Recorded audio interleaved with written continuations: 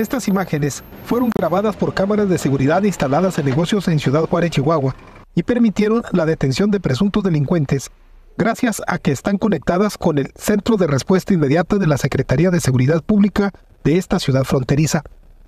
Actualmente, unas 800 cámaras de videovigilancia de negocios establecidos cooperan con la seguridad en la ciudad.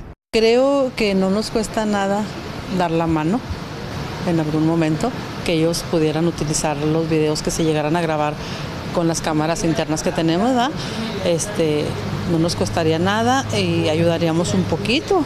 Nosotros estamos pensando en eso. Actualmente la Secretaría de Seguridad Pública de Ciudad Juárez tiene instaladas unas mil cámaras del Centro de Respuesta Inmediata y con ellas se realiza la vigilancia en toda la ciudad y esperan sumar cientos de cámaras más con la ayuda de los comercios establecidos en esta ciudad.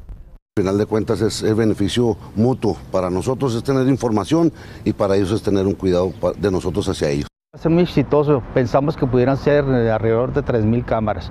Aquí lo que nos está parando un poquito es el, el, sistema de grabación, pero lo vamos a estar viendo, vamos a buscar proveedores para que nos bajen los costos y que la gente se anime. Los comerciantes también se han conectado con la red de vigilancia Centinela de la Secretaría de Seguridad Pública del Estado de Chihuahua. Yo sé que ya tenemos varias, este, eh, varias eh, cámaras o varias personas que han sumado sus cámaras en distintos puntos del Estado, principalmente en Ciudad Juárez, es donde tenemos este, principalmente la, la, la suma de esto. La conexión de cámaras a los sistemas de videovigilancia de la policía ha logrado la identificación y captura de delincuentes que asaltan, roban e incluso han cometido homicidios en establecimientos comerciales. Francisco Javier Carmona, Noticias, NEVAS.